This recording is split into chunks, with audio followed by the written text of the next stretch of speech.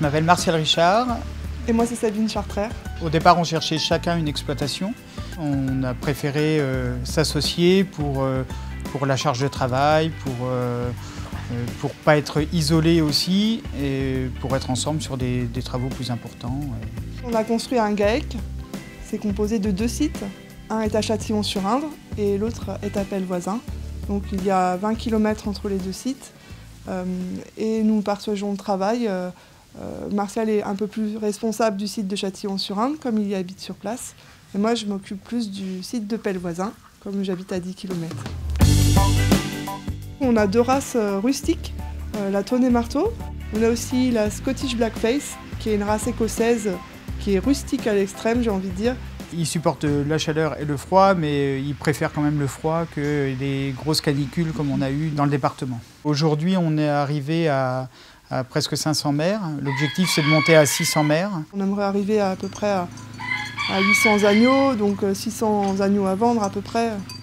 L'idée principale, c'était donc déjà de produire des agneaux dans le bien-être animal, bien évidemment, euh, pour de la vente directe, avec euh, des caissettes d'agneaux, de demi-agneaux, saucisses merguez, rillettes, terrines, et puis des plats préparés en beaucoup de 600 grammes prochaine.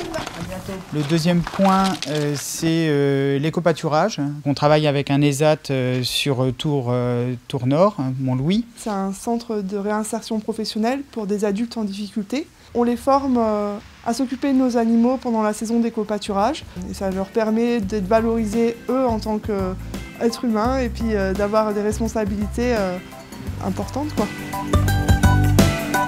Et euh, le troisième point, c'est l'ouverture au public, donc euh, que ce soit pour les scolaires ou pour euh, des groupes qui viendraient à la ferme visiter pour voir nos productions et comment on travaille.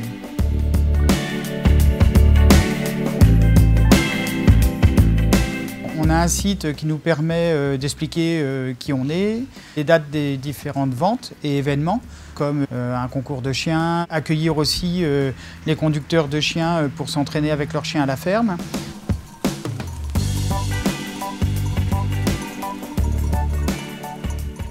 Et on peut aussi commander euh, les caissettes et la viande directement sur le site. On a aussi une page euh, Facebook qui nous permet de communiquer euh, toutes les semaines ou tous les dix jours sur les événements passés. On est en conversion bio depuis le 8 septembre 2018. Pour nous, ça ne va pas changer énormément de choses, si ce n'est d'être tendre vers une autonomie complètement parfaite. On a des voisins bio, euh, avec qui on peut travailler. S'il nous manque quelque chose, on peut acheter euh, en local, en direct, euh, du foin ou des céréales vraiment proches et à proximité. L'agneau bio, il est élevé sous la mer. On traite par le miel, les plantes. On essaye vraiment d'être plus proche de nos animaux et s'il n'y a pas besoin de traiter, on ne traite pas. Et si on peut traiter par des méthodes alternatives, on le fait. Et ça donne de bons résultats dans la plupart des cas. Si on ne traite pas, on ne dépense pas d'argent. Et après, il faut être plus aux animaux, il faut, euh, faut mieux connaître son troupeau, il faut être plus technicien, j'ai envie de dire, quand on est en bio. Il faut vraiment appréhender ce qui va se passer. Il faut être là, il faut être présent, il faut avoir l'œil, l'œil d'éleveur, ça ne s'invente pas. On a fait déjà un beau chemin en un an. On va essayer de pérenniser euh, la chose dans le bien-être de nos animaux et puis euh, être le plus serein possible au quotidien. Le bien-être des éleveurs aussi, c'est important.